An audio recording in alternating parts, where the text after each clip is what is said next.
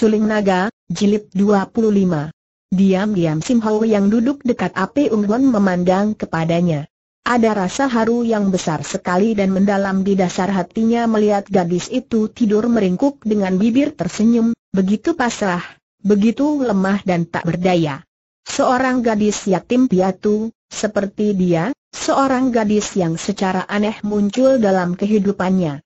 Sama sekali tak pernah dia menyangka bahwa dalam hidupnya, dia akan berduaan dengan seorang gadis seperti pada malam hari ini. Melakukan perjalanan bersama, kehujanan bersama, makan berdua dan kini dia memandangi gadis yang tidur pulas itu. Timbul rasa kasihan di hatinya melihat Bilan meringkuk, menekuk kaki dan menjepit tangan di antara pahanya. Dia mempunyai sebuah baju mantel yang lebar dan yang kini sudah kering. Diambilnya mantel itu dan diselimutkannya pada tubuh Bilan, menutupi tubuh dari leher sampai ke kaki. Dia melakukannya begitu hati-hati dan perlahan-lahan agar tidak membangunkan Bilan dari tidurnya yang nyenyak. Akan tetapi, tubuh yang terlatih sejak kecil itu amat pekat terhadap sentuhan dari luar dan urat syaraf tubuh itu selalu dalam keadaan siap terhadap bahaya dari luar sehingga dalam tidur sekalipun, agaknya syaraf-syaraf itu tetap bersiap siaga. Maka begitu merasa tubuhnya tersentuh kain, walaupun tadinya tidak berprasangka yang bukan-bukan, sentuhan ini cukup membuat Bilan sadar dari tidurnya. Akan tetapi, ia segera memejamkan matanya kembali dan pura-pura masih pulas ketika ia melihat bahwa yang menyentuh tubuhnya itu adalah hamparan baju mantel yang diselimutkan oleh Sim Ho di atas tubuhnya.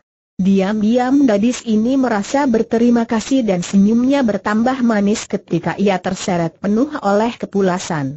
Di zaman para kaisar masih berkuasa, para pembesar yang bertugas mencatat sejarah, selalu hanya mencatat yang baik-baik saja tentang kaisar dan keluarganya. Kalau ada catatan sejarah yang memburukan seorang penguasa, maka catatan itu sudah pasti dilakukan oleh pihak yang membencinya. Oleh karena itu, maka sukarlah dipercaya kebenaran catatan sejarah di dunia ini. Seperti catatan sejarah tentang pembangunan dan tentang kebesaran kerajaan Manchu yang semakin berkembang. Akan tetapi sejarah tak mencatat betapa banyaknya korban jatuh dari pihak mereka yang menentang kaisar, baik karena urusan pribadi maupun karena kebangkitan mereka yang merasa dijajah dan ingin menumbangkan kekuasaan Manchu. Kalau dia sudah dinilai, setiap orang manusia, baik dia kaisar sekalipun, tentu memiliki dua macam sifat yang berlawanan, yaitu baik dan buruk, kelebihan dan kekurangannya, tentu saja bergantung kepada pendapat si penilai berdasarkan rasa suka atau tidak suka dari si penilai sendiri. Demikian pula Kaisar Tian Leong. Pada masa itu, dialah orang yang paling tinggi kedudukannya, yang paling berkuasa sehingga memburukan namanya merupakan suatu pemberontakan dan dosa besar, dan orang yang berani melakukannya dapat saja dipenggal lehernya sebagai hukumannya. Oleh karena itu, catatan riwayat dan sejarahnya hanya yang baik-baik saja. Betapapun juga, orang tak mungkin menyimpan rahasia untuk selamanya. Akhirnya membocor keluar juga dari istana segala perilaku kaisar itu yang dianggap tidak patut. Di antaranya adalah hubungan kaisar di masa tuanya itu dengan Hao Useng yang tampan, yang kini semakin tinggi saja kedudukannya dan semakin besar kekuasaannya. Bahkan di luar sudah terdengar bisik-bisik bahwa Hao Useng inilah orangnya yang akan diangkat menjadi Perdana Menteri dalam waktu dekat. Dan bisik-bisik atau desas-desus ini memang tidak merupakan kabar bohong begitu saja. Bukan saja Hao Useng menjadi kekasih kaisar, akan tetapi bahkan dia telah dapat mempengaruhi kaisar hingga semua urusan dalam istana sudah dipercayakan padanya. Sekarang dialah yang menjadi orang kedua setelah kaisar di istana itu, bahkan semua pelaksanaan peraturan dan lain-lain berada di tangannya dan kaisar hanya mendengar dan percaya akan laporan kekasih ini saja. Ambisi merupakan racun yang sekali mencengkeram batin kita, tidak mudah untuk dilepaskan lagi. Ambisi adalah kemurkaan, seperti binatang babi, makin diberi makan, semakin kelaparan saja. Makin banyak yang didapat, semakin bertambah keinginan hati yang dicengkeram ambisi. Demikian pula dengan Hao Seng. Dia tadinya hanya seorang tukang pikul tandu kaisar. Setelah dia diangkat menjadi kekasih kaisar dan menjadi penasehat kaisar, berarti dia sudah memperoleh kemajuan yang luar biasa. Namun, dia masih jauh daripada puas karena dia melihat kemungkinan-kemungkinan bahwa dia akan lebih besar lagi. Dan untuk mencapai ambisi atau cita-citanya itu, dia tidak hanya dapat mengandalkan kepercayaan kaisar kepadanya. Terlalu banyak musuhnya yang ingin melihat dia jatuh kembali ke bawah. Banyak menteri-menteri yang tak suka kepadanya, bahkan ada yang secara halus berani memperingatkan kaisar tentang bahayanya kalau terlalu percaya kepada seseorang dan menyerahkan segala kekuasaan di tangan Hao Useng mengenai urusan dalam istana. Hao Seng semakin cerdik dan mulai memperkuat diri. Bukan hanya dengan cara makin menempel kaisar, tetapi juga diam-diam dia mengumpulkan tenaga-tenaga yang boleh diandalkan, Selain untuk mengawal dan melindungi dirinya, juga untuk melaksanakan perintah-perintah dalam menghadapi musuh-musuhnya. Beberapa orang musuhnya sudah dilenyapkan, tewas secara aneh. Tentu saja tidak aneh bagi Hao Useng. Dia telah memelihara orang-orang yang memiliki ilmu kepandaian tinggi dan kekejaman seperti iblis. Tentu saja dengan bayaran yang sangat tinggi, memberi kemewahan dan memenuhi permintaan apa saja dari orang-orang sakti itu. Juga memberi janji bahwa jika dia dapat menjadi Perdana Menteri, apalagi kalau kelak dapat menjadi Kaisar, dia tidak akan melupakan para pembantu itu dan tentu akan memberi kedudukan tinggi kepada mereka. Pada suatu malam, dengan pengawalan ketat, Hao Seng keluar dari istana menuju ke sebuah rumah tidak jauh dari kompleks istana. Rumah ini merupakan sebuah gedung yang dikelilingi pagar tembok tinggi dan nampak terjaga oleh penjaga-penjaga yang berpakaian seragam. Rumah peristirahatan ini adalah milik Hao Useng, satu di antara banyak rumah yang dimilikinya. Dia sendiri tinggal di sebuah gedung seperti istana saja mewahnya, bersama istrinya. Benar, Hao Useng telah beristri. Hal ini adalah karena Kaisar Kian Liong merasa risih juga akibat banyaknya menteri yang menyindirkan hubungannya dengan Hao Useng, dan untuk menutupi atau sekedar mengurangi santernya desas-desus, dia memerintahkan kepada Hao Useng untuk menikah dengan seorang wanita dayang pilihan dari istana. Tentu saja Hao Useng menerima perintah ini dengan hati senang. Bayangkan saja, selain memperoleh kekayaan dan kehormatan, juga dia memperoleh seorang istri yang cantik hadiah dari kaisar sendiri. Dengan adanya istri, tentu dia dapat memelihara banyak selir dan kini tak perlu lagi dia bersembunyi-sembunyi kalau dia menginginkan seorang wanita. Pernikahannya itu telah berlangsung tiga tahun yang lalu dan kini dia telah mendapatkan beberapa orang anak dari istrinya dan selir-selirnya. Kereta yang ditumpangi Hao Useng memasuki halaman rumah setelah pintu gerbangnya dibuka oleh para penjaga. Pintu gerbang lalu ditutup kembali dan nampak seorang laki-laki berusia kurang lebih 35 tahun, berwajah tampan dan cerdik, bermuka halus seperti muka perempuan. Itulah Hao Useng, dengan pakaiannya yang gemerlapan. Dia seorang laki-laki pesolek, mukanya dirias dan pakaiannya mewah. Kiranya di dalam keretanya itu bersembunyi dua orang wanita berusia kurang lebih tiga puluhan tahun, cantik dan bertubuh ramping serta gesit. Mereka ini adalah dua orang pengawal pribadi yang dapat menjadi apanya pun juga. Menjadi selir, juga pelayan atau pengawal yang melindungi keselamatannya. Kedua orang wanita ini adalah ahli-ahli silat yang pandai dan sengaja dipilih oleh Hao Useng, bukan hanya karena kecantikan mereka semata, tetapi terutama sekali karena ketangguhan mereka melindungi keselamatannya. Oleh karena itu, dua orang pengawal pribadi ini tidak pernah meninggalkannya, ke mana pun dia pergi. Ketika Hao Useng turun dari kereta, dua orang wanita ini turun sebelum dan sesudahnya, menjaga dari depan belakang atau kanan kiri penuh kewaspadaan. Dari pintu depan yang terbuka dari rumah gedung itu muncullah seorang nenek yang kalau orang melihatnya di tempat yang tidak begitu terang tentu akan mengiranya seorang wanita yang masih belum tua benar. Padahal nenek ini usianya sudah kurang lebih 70 tahun. Selain gerak-geriknya masih gesit dan sikapnya yang genit, juga mukanya memakai lapisan bedak tebal dan pemerah bibir dan pipi, di samping penghitam alisnya yang sudah habis bulunya itu. Pakaiannya juga mewah dan nenek pesolek ini memegang sebatang kebutan yang gagangnya terbuat dari emas dan bulunya yang putih lemas itu tidak boleh dipandang ringan. Itu bukan kebutan biasa pengusir lalat, melainkan sebuah senjata yang amat tampuh karena bulu-bulu kebutan itu terbuat dari bulu seekor monyet putih yang hanya terdapat di daerah Himalaya bagian barat. Menurut dongeng, monyet putih di daerah itu memiliki bulu yang amat kuat sehingga tahan bacokan, membuat monyet itu kebal.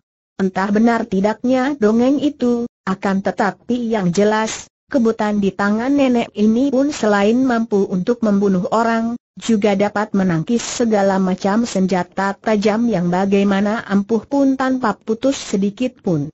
Begitu bertemu dengan nenek yang tubuhnya masih nampak ramping dan wajahnya cantik karena dirias itu, Hao Seng memberi hormat berbareng dengan nenek itu yang juga menjura dengan merangkap kedua tangan di depan dada sambil memegangi kebutannya yang bulunya menjuntai ke bawah dengan lemasnya.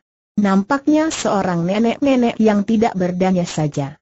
Akan tetapi, Hao Seng yang merupakan orang kedua setelah kaisar di dalam istana, kelihatan begitu menghormati nenek ini. Apalagi dua orang pengawal pribadinya itu jelas memperlihatkan sikap jeri sekali ketika mereka memandang kepada nenek itu dan mengerling ke arah kebutan berbulu putih bergagang emas itu.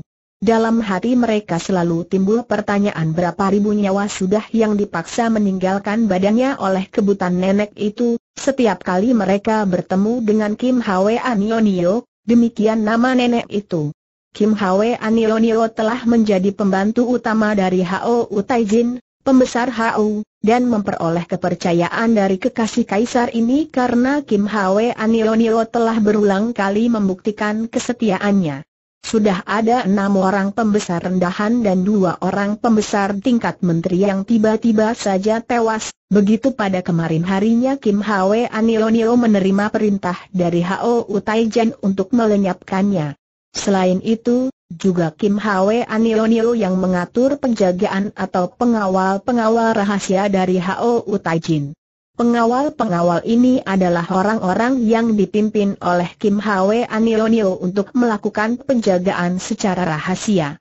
Dan kini Kim Hwe Anilonio menerima tugas yang lebih penting lagi, ialah mengumpulkan dan mengundang tenaga-tenaga yang tangguh dari para tokoh dunia hitam untuk memperkuat kedudukan Hao Utajin. Siapakah Kim Hwe Anionio? Nenek yang sudah tua akan tetapi masih suka mengejar kesenangan melalui kekuasaan di kota raja ini adalah guru dari Bok Gun. Nenek ini pernah menjadi murid merangkap kekasih dari mendiang Pek Bin Losian. Akan tetapi setelah ia berhasil menguras semua ilmu dari Pek Bin Losian, Kim Hwe Anilonio lalu meninggalkan gurunya yang suka bertapa itu untuk bertualang di kota-kota besar dan mengumbar nafsunya dengan pria-pria yang lebih muda dan tampan, yang dipilih dan disukainya. Dengan kepandaiannya yang hebat, ia dapat memaksa setiap pria yang dipilihnya untuk melayaninya. Setiap penolakan tentu mengakibatkan pria itu tewas oleh menyambarnya bulu-bulu kebutan itu. Bahkan setiap kekecewaan dari pria yang melayaninya juga harus ditebus dengan nyawanya. Dalam hal kejahatan dan kekejamannya, Kim Hwe Anilonio tidak kalah oleh tiga orang datuk sesat yang masih bersumber dari satu perguruan dengannya, yaitu Sam Kwi. Setelah usianya mulai tua, Kim Hwe Anilonio memilih Bok Gun untuk menjadi muridnya, dan hanya pemuda inilah yang mewarisi sebagian besar dari ilmu-ilmunya. Akan tetapi, setelah usianya kurang lebih 70 tahun, ia sudah mulai kehilangan kesenangan-kesenangan masa mudanya dan kini satu-satunya kesenangan yang dikejarnya adalah kedudukan dari kekuasaan. Karena itulah ia pergi ke kota raja dan mendengar akan kelihayan Hao Taijin yang berhasil menguasai kaisar, ia lalu melakukan pendekatan dan akhirnya, melihat kehebatan ilmu nenek ini, ia berhasil menjadi pembantu utama Hao Useng atau Hao Taijin. Selamat malam, Taijin, Nenek itu berkata dan suaranya terdengar halus, dan silakan masuk. Pembesar yang mempunyai sepasang mata lincah membayangkan kecerdikannya itu mengangguk dan langsung bertanya, benarkah yang datang lama itu dia mencari-cari dengan pandang matanya. Begitu mendengar berita yang dikirim oleh Lo Chiam Pua, aku langsung saja ke sini, ingin bertemu dan berkenalan sendiri. Kim Hwe Anilonio mengangguk. Bijaksana sekali tindakan Taijin, karena memang akan menimbulkan kecurigaan kalau dia yang belum dikenal ini yang menghadap kepada Taijin. Sekarang pun dia sudah siap menghadap kalau menerima perintah Taijin. Baik, Lo Chiam Pua, minta kepada Lo Suhu itu untuk menemui aku di ruangan tamu. Hao Taijin lalu diiringkan dua orang pengawalnya menuju ke ruang tamu, sedangkan Kim Hwe Anilonio lalu mengundurkan diri untuk memberitahu kepada tamunya. Ketika Kim Hwe Anilonio bersama tamunya pergi ke ruangan, di situ telah menanti Hao Taijin bersama dua orang pengawal pribadi yang tak pernah berpisah darinya. Dua orang wanita cantik itu kini berdiri seperti patung di kanan kirinya, agak di belakang tubuh pembesar itu. Para pengawal, tidak kurang dari 12 orang, berjaga di dalam ruangan itu pula, berdiri dengan sikap hormat. Sedangkan beberapa orang pengawal lagi mondar-mandir di luar ruangan ini. Mereka adalah pengawal-pengawal yang tidak mengenakan pakaian seragam dan yang selalu membayangi ke mana pun Hao Useng pergi. Pengawal-pengawal inilah anak buah Kim Hwe Anilonio dan karena mereka semua yang berpakaian preman itu mempunyai kartu pengenal yang dibubungi cap dari Hao Utaijin sendiri, maka para penjaga tempat-tempat yang sedang dikunjungi Hao Utaijin selalu membiarkan mereka menyelinap masuk. Pendeknya, pengawalan yang dilakukan untuk menjaga keselamatan Hoa Taijin ini tidak kalah ketatnya dengan pengawalan atas diri Kaisar sendiri. Hao Taijian adalah seorang yang cerdik dan pandai menggunakan orang. Melihat bahwa tamu yang datang bersama Kim Hwe Anilonio itu seorang kakek yang usianya tentu sudah 60 tahun lebih, bertubuh tinggi besar dengan perut gendut, kepalanya gundul dan jubahnya lebar dengan kotak-kotak berwarna merah kuning, mukanya begitu menyeramkan seperti muka seekor singa, dengan cambang bauk yang warnanya kekuning-kuningan, Matanya terbelalak mengandung sinar mata tajam, dia tahu bahwa tamu ini memang bukan orang sembarangan, seperti yang telah dikatakan oleh Kim Hwe Anilonio kepadanya. Dia tahu siapa kakek ini, ialah seorang pendeta lama dari Tibet yang juga mempunyai niat memberontak terhadap penguasa-penguasa lama di Tibet. Cocok sekali kalau orang ini bisa menjadi pembantunya bersama Kim Hwe Anilonio, pikirnya. Dan agaknya makin mudah pula memasukkan seorang pendeta ke dalam istana, dengan alasan sebagai penasehat kebatinan, pengusir roh jahat, pengajar agama dan sebagainya, seperti yang dilakukan terhadap Kim Hwe Anilonio yang juga olehnya diperkenalkan kepada Kaisar sebagai seorang pertapa wanita dari pegunungan Himalaya yang sakti. Setelah pendeta lama dan Kim Hwe Anilonio itu tiba di dekat meja, Hao Taijin bangkit berdiri untuk menyambut dan pendeta yang bukan lain adalah Sai Chu Lama itu segera memberi hormat. Merangkapkan kedua tangan depan dada sambil berkata dengan suara seperti berdoa, Omitohut semoga Hao Taijin mendapat berkah usia panjang dan rejeki yang berlimpah-limpah. Hao Seng tersenyum. Selamat datang, Lo Suhu dan silakan duduk. Silakan, Lo Chiampul. Sai Lama dan Kim Hwe Anilonio mengambil tempat duduk setelah nenek itu dengan isyarat tangannya menyuruh anak buahnya untuk keluar dari ruang itu. Para pengawal segera pergi dan hanya berjaga di luar ruangan tamu itu dengan ketatnya. Yang berada di ruang tamu kini hanyalah Hao Taijain bersama dua orang selir yang mengawalnya, Kim Hwe Anilonio dan Sai Lama. Hao Taijin, Pinceng, saya, adalah Sai Lama dari Tibet. Saya memenuhi undangan Kim Hwe Anilonio yang telah Pinceng kenal baik untuk menghadap Taijin. Harap maafkan kelancangan Pinceng. Hao Seng tertawa bergelak. Hatinya senang sekali mendengar seorang kakek yang menurut Kim Hwe Anilonio amat sakti ini merendahkan diri. Ahaha, tidak ada yang perlu dimaafkan karena memang saya yang minta kepada Lo Chiam Po Kim Hwe Anilonio untuk mengundang Lo Suhu. Lo Suhu telah melakukan perjalanan yang melelahkan dan amat jauh, untuk menyambut kedatangan Lo Suhu, saya akan mengadakan perjamuan kecil sebagai ucapan selamat datang. Hao Taijin mengangguk kepada Kim Hwe Anilonio, memberi tanda bahwa perjamuan itu boleh dimulai. Kita dapat bercakap-cakap setelah makan minum. Maafkan Pinceng, Taijin. Sebelum itu, Pinceng juga ingin mempersembahkan sesuatu kepada Taijin. Seorang gadis remaja berusia 12 tahun yang cantik jelita sekali, yang kebetulan Pinceng temukan di dalam perjalanan Pinceng. Hao Seng mengerutkan alisnya. Betapapun juga pernyataan pendeta lama itu agak menyinggung kehormatannya. Pendeta ini berani mengatakan akan mempersembahkan seorang gadis remaja yang ditemukannya begitu saja di tengah perjalanan. Persembahan seperti itu merendahkan martabatnya, betapa cantik pun gadis itu, dan tidak patut untuk diketengahkan dalam pertemuan dan perkenalan pertama sebagai suatu persembahan kehormatan. Agaknya Kim Hwe Anilonio melihat ketidaksenangan hati majikannya. Ia pun cepat-cepat berkata, hendaknya Paduka maklumi bahwa gadis remaja yang dibawa oleh rekan saya saya culama itu bukan gadis biasa, melainkan derajatnya jauh lebih tinggi daripada seluruh wanita yang telah Paduka miliki. Ia itu adalah keturunan keluarga para pendekar Pulau Es yang terkenal itu. Ah wajah pembesar itu berseri bangga dan matanya terbelalak. Bukan main kalau begitu. Lekas bawa ke sini, saya ingin melihatnya. Kim Hwe Anilonio memberi isyarat dengan tepuk tangan lima kali. Tidak lama kemudian pintu sebelah kanan ruangan tamu itu terbuka dan masuklah dua orang pengawal bertubuh tinggi besar. Di antara mereka terdapat Sumalian, yang mereka pegang pada pangkal lengannya dari kanan kiri dan mereka jinjing. Kaki dan tangan gadis cilik itu terbelenggu. Jelaslah bahwa Sumalian tidak mampu menggerakkan kaki tangannya, akan tetapi sepasang matanya hidup, bersinar penuh keangkuhan dan kemarahan, berdiri tegak ia ketika dilepas oleh kedua orang yang segera memberi hormat lalu meninggalkan lagi ruangan itu dan menutupkan pintunya dari luar.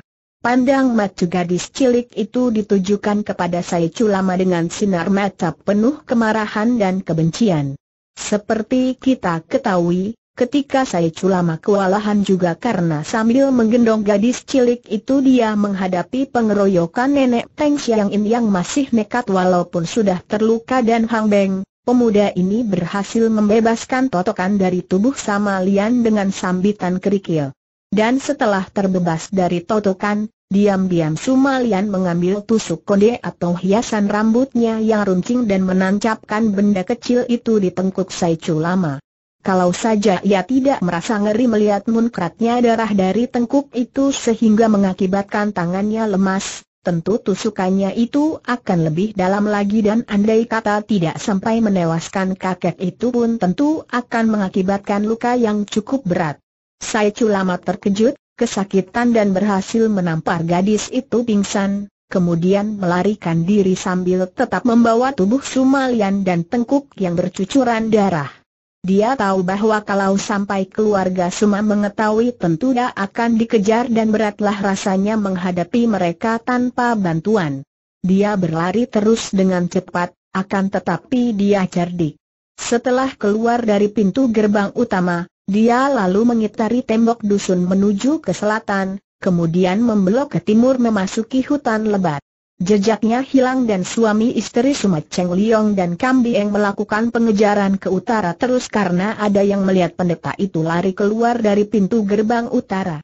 Luka di tengkuknya hanya mengeluarkan darah, namun tidak terbahaya. Ketika dia memeriksa benda yang menancap di tengkuknya, dia terkejut. Benda itu tentu akan dapat menancap lebih dalam lagi, pikirnya. Akan tetapi kenapa tidak? Padahal, seorang gadis biarpun baru berusia 12 tahun seperti anak ini, tentu mampu menusuk lebih kuat. Mengapa gadis cilik ini tidak menusuknya lebih kuat? Pikiran ini membuat kemarahannya berkurang terhadap Sumalian. Ia menurunkan tubuh Sumalian, lalu demi keamanan, membelenggu kaki tangan gadis itu dengan tali pengikat yang kuat. Baru dia menotoknya beberapa kali dan membuatnya sadar kembali. Begitu sadar, Sumalian meronta, akan tetapi tak mampu melepaskan ikatan kaki tangannya dan ia hanya memandang dengan mati melotot.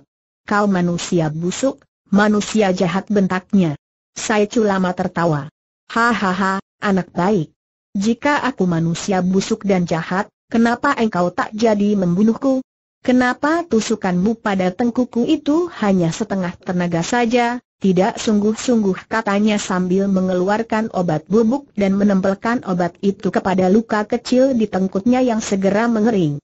Padahal, benda ini luncing dan keras, dengan sedikit tenaga saja tengkuku pasti bisa ditembus katanya dan sekali menggerakkan tangan, perlahan-lahan dia menusukkan tusuk sanggul itu ke dalam sebatang pohon.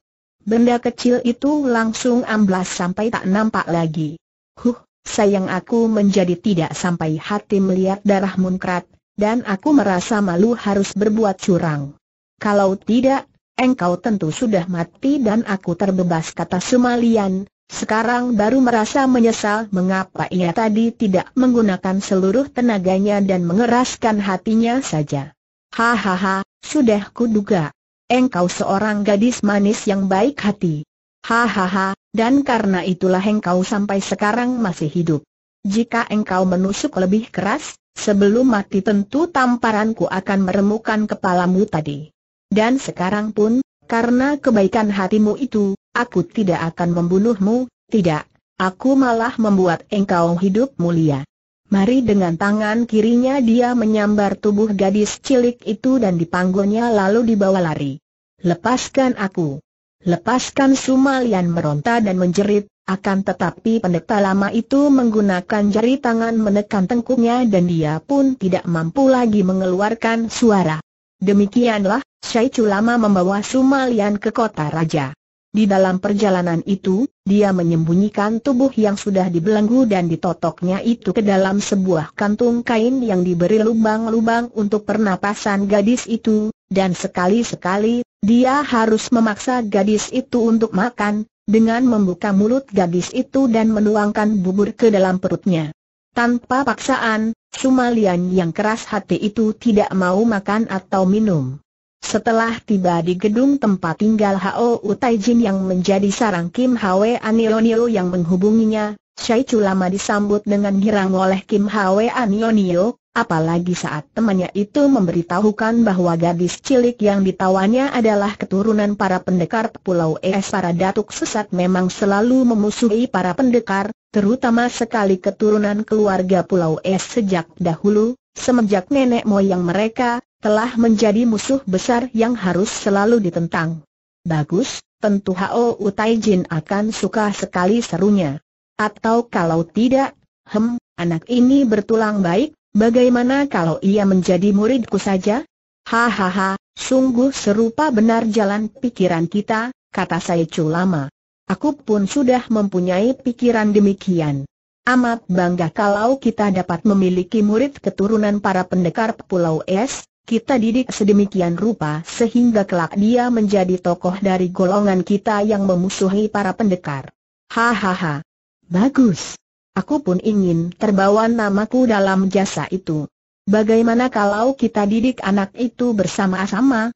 Omi Tohut, usia tuamu sama sekali tidak menghilangkan kecerdikanmu, seperti tidak pula melenyapkan kecantikanmu, Kim Hwe Anionio Saichu lama memuji. Keduanya lalu membuat persiapan untuk memberi laporan kepada Hao Utaijin bahwa tamu dari Tibet yang diundang telah tiba. Dan seperti kita ketahui, Hao Taijan demikian girang mendengar ini sehingga dia datang sendiri demi untuk menemui tamu itu dan mengenalnya sendiri karena oleh Kim Hwe Anilonio sudah diceritakan bahwa tamu yang berjuluk Sai Lama dari Tibet ini memiliki ilmu kepandaian yang amat tinggi, bahkan tidak kalah oleh Kim Hwe Anilonio sendiri, demikian kata nenek itu. Omi Tohut, anak baik, engkau sedang menghadap Hao Utaijin, harus berlutut memberi hormat kata Saichu lama. Akan tetapi Sumalian tetap berdiri dengan mata melotot, sedikit pun tidak takut dan ketika ia memandang kepada orang berpakaian mewah yang duduk di depan pendeta lama itu, matanya memandang penuh selidik. Mata anak ini demikian tajam sehingga hati pembesar itu merasa kecut juga. Akan tetapi pada saat itu, seorang di antara dua orang selir yang menjadi pengawalnya itu berbisik dekat telinganya. Taijin harus bersikap baik kepadanya, dan suruh membebaskan ikatan kaki tangannya, agar ia mudah dijinakan. Hao Taijin mengangguk-angguk, kemudian sambil memandang kepada gadis cilik itu, ia berkata, Lo Suhau, kasihan sekali putri kecil ini dibelenggu. Harap lepaskan belenggu kaki tangannya. Taijin, biarpun masih kecil, ia sudah lihai dan berbahaya, juga liar seperti seekor kuda binal. Sai Lama, perintah Taijin harus kita laksanakan tanpa membantah. Tiba-tiba Kim Hwe Anilonio memperingatkan temannya yang belum tahu akan watak Hao Taijin yang tidak mau dibantah. Mendengar ini, Sai Lama mengangguk dan cepat dia menghampiri Sumalian yang berdiri tegak. Untuk mendemonstrasikan kelihayannya, dengan jari-jari tangan, ringan sekali gerakannya dia membuat putus semua tali, Seolah-olah tali-tali itu hanya sehelai benang saja. Adik yang baik, ke sinilah dan jangan takut. Kami tidak akan menyusahkanmu lagi, berkata Hao Useng. Memang orang ini pandai sekali bersandiwara. Dan mendengar suaranya yang lemah lembut, serta melihat wajahnya yang kini memperlihatkan kesungguhan dan keramahan, Sumalian mulai percaya bahwa orang itu tentu memiliki niat yang baik terhadap dirinya. Ia memang tidak mendengarkan apa yang dipercakapkan oleh Sai Lama dan Kim Hwe Anilonio bahwa dirinya akan diberikan kepada pembesar Hao Useng untuk dijadikan selir. Maka, mengingat bahwa ia berhadapan dengan seorang pembesar di kota raja, seperti yang didengarnya tadi dari para pengawal bahwa ia akan dihadapkan kepada seorang pembesar istana kota raja, ia lalu menjatuhkan diri berlutut. Memang selain belajar ilmu silat tinggi, Sumalian diajar tentang ilmu baka tulis, juga tentang kesopanan sehingga ia mampu bersikap semestinya ketika berhadapan dengan seorang pembesar, apalagi jika mengingat bahwa pembesar ini bersikap baik, bahkan telah menolongnya dari belenggu. Taijin, harap Paduka suka mengirim saya untuk kembali ke rumah orang tua saya, atau membiarkan saya pergi dari sini dan untuk budi ini saya Sumalian tidak akan pernah melupakanmu. Kembali terdengar bisik-bisik dari seorang selir di belakangnya. Hao Seng mengangguk-angguk lagi. Nona Sumalian, membiarkan engkau pergi seorang diri sungguh amat berbahaya. Bagaimana kalau sampai terjadi apa-apa atas dirimu? Berarti aku harus ikut bertanggung jawab. Sai Culama telah menyerahkan engkau kepadaku, berarti akulah yang sekarang melindungimu. Jangan khawatir, sekali waktu pasti aku akan mengantar engkau kembali ke tempat tinggalmu, akan tetapi sementara ini, selagi aku masih sibuk, biarlah engkau tinggal di sini bersama Kim Hwe Anionio. Akan tetapi engkau harus berjanji tidak akan memberontak atau mencoba untuk melarikan diri. Sumalian adalah seorang anak yang cerdik. Jika tadi ia memperlihatkan sikap marah, itu adalah karena saya Culama selalu bersikap keras kepadanya dan ia membenci pendeta yang menculiknya itu. Sekarang ia melihat bahwa tidak ada pilihan lain baginya kecuali mentaati perintah pembesar ini, kalau ia tidak ingin diperlakukan kasar lagi. Ia mengerti bahwa ia menjadi semacam tahanan. Akan tetapi jauh lebih baik tertahan dalam keadaan bebas daripada dibelenggu terus atau disekap terus di dalam kamar tahanan. Dalam keadaan bebas, tentu akan banyak kesempatan terbuka baginya untuk melarikan diri. Baiklah Taijin, saya berjanji tidak akan memberontak dan terima kasih atas kebaikan Taijin. Lo Chiam Pua, berkata Hao Taijin dengan suara halus kepada Kim Hwe Anionio, Harap Lo Ciampu atur dan serahkan adik ini kepada para pengasuh lebih dulu, sediakan kamar yang baik, pakaian yang cukup dan makan yang enak, setelah itu kami masih menanti Lo Ciampu di sini untuk mengadakan perundingan lebih lanjut. Baik, Taijin, Kim Hwe Aniloniro lalu menggandeng tangan Sumalian. Nah, kalau sejak kemarin engkau tidak memberontak, tentu kami sudah memperlakukan engkau dengan baik. Marilah, anak manis. Kalau saja saya culama yang menggandengnya, biarpun kini ia tidak memberontak lagi, Sumalian tentu tidak akan mau. Akan tetapi ia tidak membenci nenek ini walaupun ia juga tidak menyukainya, dan ia pun menurut saja ketika digandeng dan hendak diajak keluar dari ruangan itu. Setelah menyerahkan Sumalian kepada para pembantunya agar anak itu memperoleh rawatan yang baik dan sekali-kali tidak boleh diperlakukan kasar, akan tetapi diam-diam Kim Hwe Anilonio memerintahkan anak buahnya untuk mengamati anak itu baik-baik dan menjaganya supaya ia tidak sampai melarikan diri dari situ. Nenek itu lalu kembali ke ruangan tamu.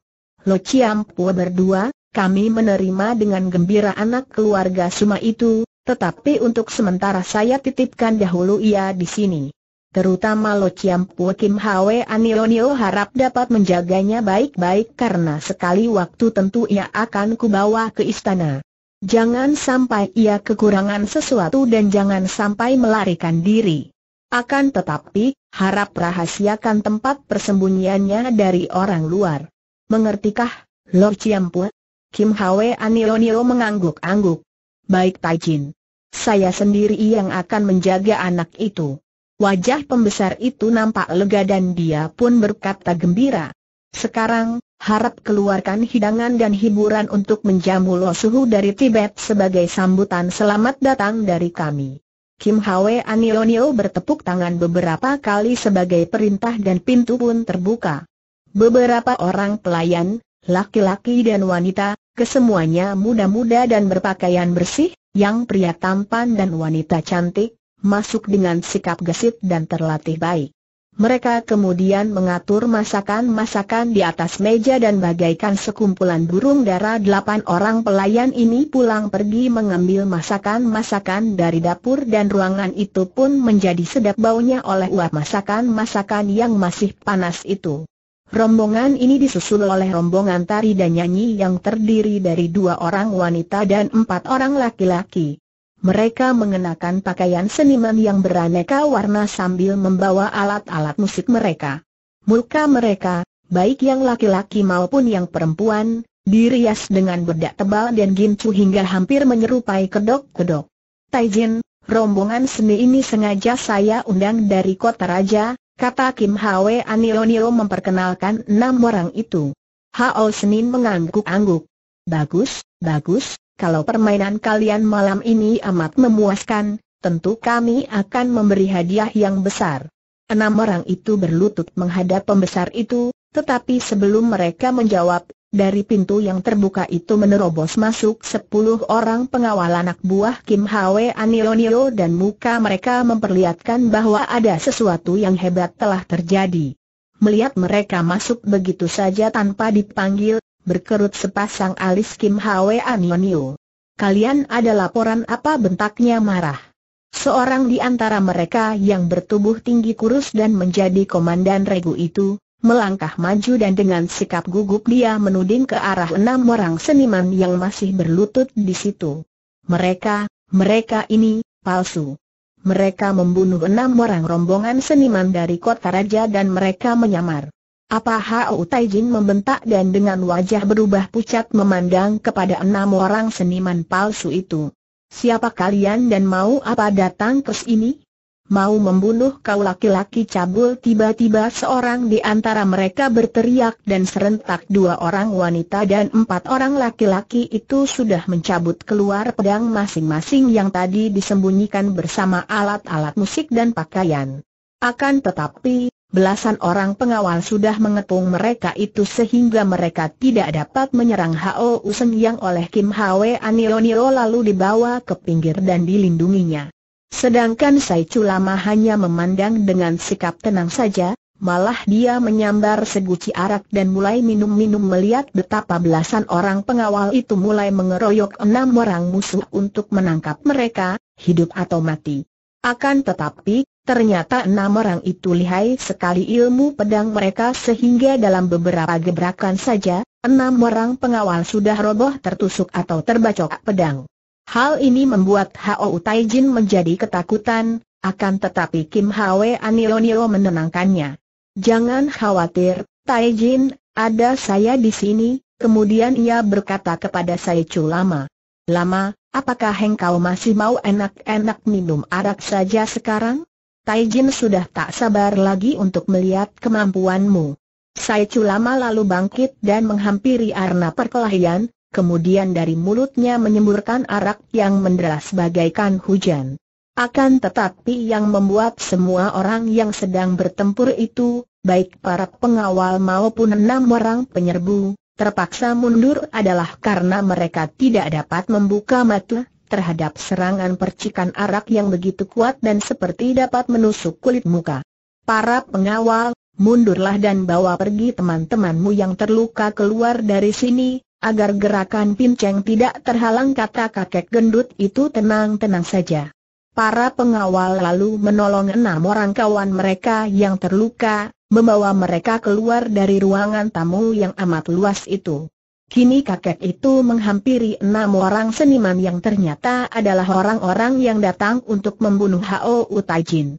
Kalian sudah bosan hidup dan datang hanya untuk mengantar nyawa.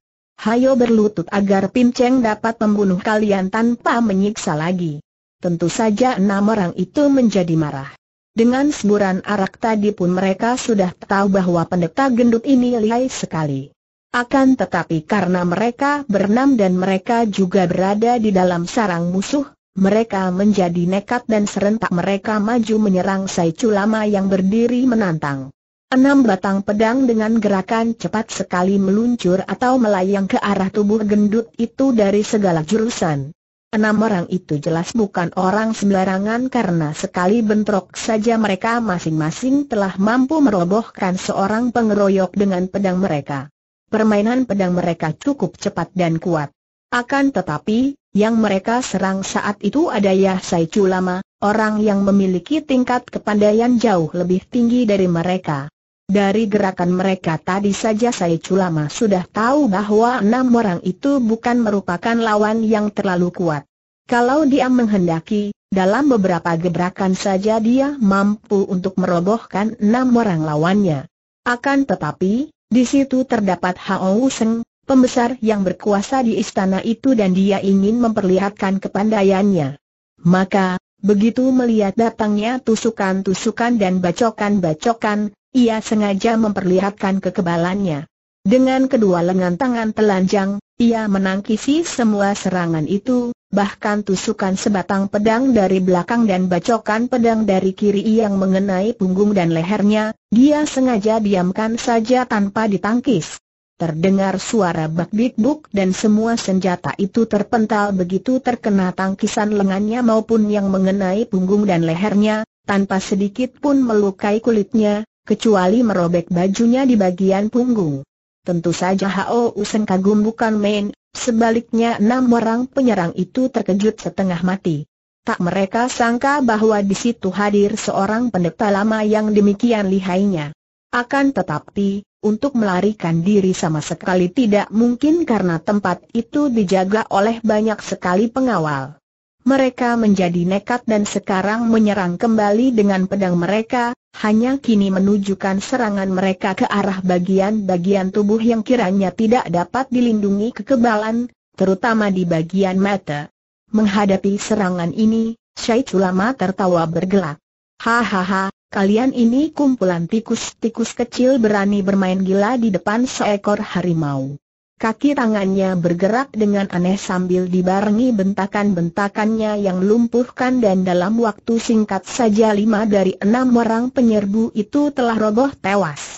Dan yang keenam, yang wanita dan usianya sekitar 30 tahun, berwajah cantik, sudah ditangkapnya. Wanita itu terpaksa melepaskan pedangnya dan kini tertotok roboh tak mampu bergerak lagi karena kaki tangannya lumpuh.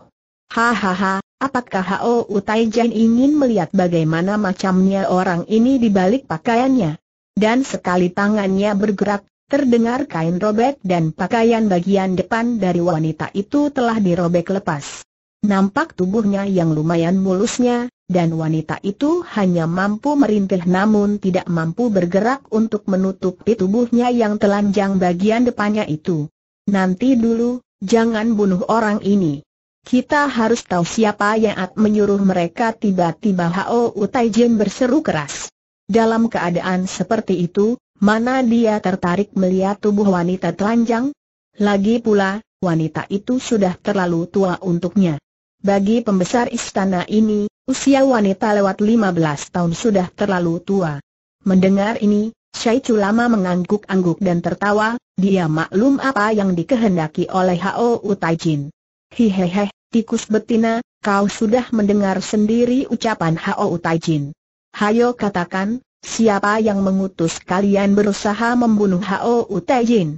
Hayo cepat katakan, jika tidak aku akan mengerat tubuhmu sepotong demi sepotong, tidak sampai kau mati, tetapi akan membuat engkau hidup sebagai seorang yang tanpa batang hidung, tanpa daun telinga, tanpa jari tangan dan kaki.